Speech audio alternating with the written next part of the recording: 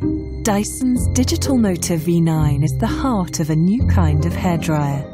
It spins up to 110,000 times per minute with one inaudible frequency, so it's faster and lighter than some other motors, making this hairdryer engineered for balance.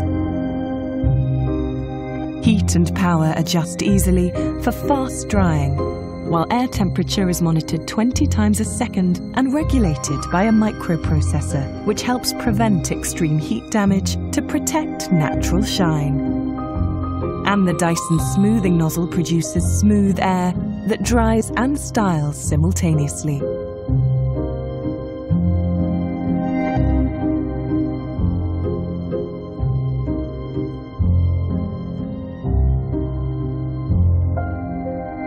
Dyson Supersonic, the hairdryer we thought.